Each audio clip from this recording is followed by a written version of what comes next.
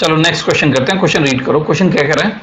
A train of 150 metre length is going towards north direction at a speed of 10 metre per second the parrot flies at the speed of 5 metre per second towards south direction parallel to the rail track railway track the time taken by the parrot to cross the train सबसे पहले देखो, ये train है। Box की तरह मैं बना दे रहा हूँ। ठीक है? ये ट्रेन मैंने बना दी। ये चल रही है क्वेश्चन में क्या कर? रहा है 150 मीटर की लेंथ है 150 मीटर इसकी लेंथ है। ठीक है? और उसकी स्पीड कितनी है? 10 मीटर पर सेकेंड और ये किधर चल रही है? नॉर्थ डायरेक्शन में। हम फाइन कन्वेंशन के अकॉर्डिंग नॉर्थ ये साउथ कर देते हैं। ठीक है? नॉर्थ इधर है साउथ इधर है। ठीक है? तो नॉर्थ डायरेक्शन में चल रही है। और एक पैरेट है, वो फ्लाई कर रहा है।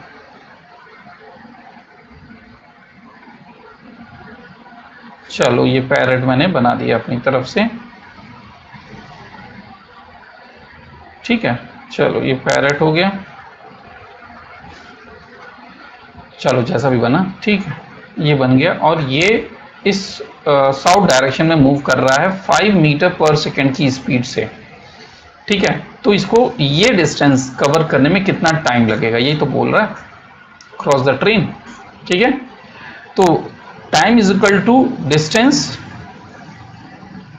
upon relative velocity यहाँ यूज़ होगी। Velocity of parrot with respect to train तो क्या हो जाएगा? Velocity of parrot with respect to train is equal to velocity of parrot minus velocity of train velocity of parrot क्या हो गया? अगर इधर को लेफ़्ट निगेटिव डायरेक्शन मान लिया जाए साउथ को निगेटिव या और इसको पॉजिटिव मान लिया जाए तो पैरेट की वेलोसिटी माइनस टेन और ये प्लस टेन फाइव ये minus fifteen metre per second हो जाएगा। Velocity of parrot with respect to train तो माइनस तो बस डायरेक्शन की वजह से है तो मैं 15 ले लेता हूँ। डिस्टेंस कितनी है? 150 मीटर डिवाइडेड बाई 15 कितना हो जाएगा? 10 सेकेंड 10 सेकेंड में ये क्रॉस कर लेगा। कौन सा ऑप्शन है? डी वाला ऑप्शन, ज़्यादा अप्रोप्रिएट है। ठीक है, चलो नेक्स्ट क्वेश्चन